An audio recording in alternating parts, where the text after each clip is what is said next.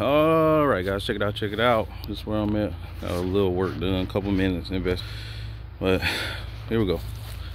There we go. That's where the where it ended at. And i'm gonna show you the real problem. It was exactly what i thought actually.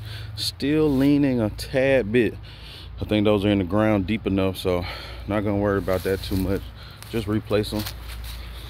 Uh here we go. So here's the problem. Or at least what i think the problem was. These guys. So those are the six by six that were in the ground on the end down here.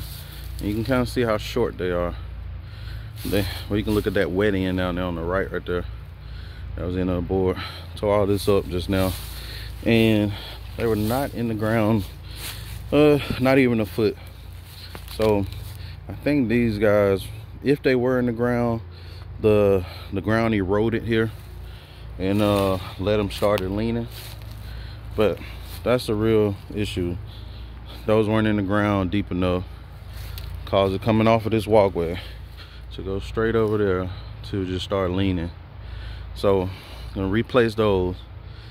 Make sure the new ones get put in the ground a couple of feet so i won't have to worry about lean on them and uh replace all the running boards and the the top boards and I think we should be good here.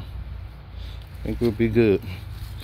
But that's all I wanted to do today was to tear that up and to see where it was at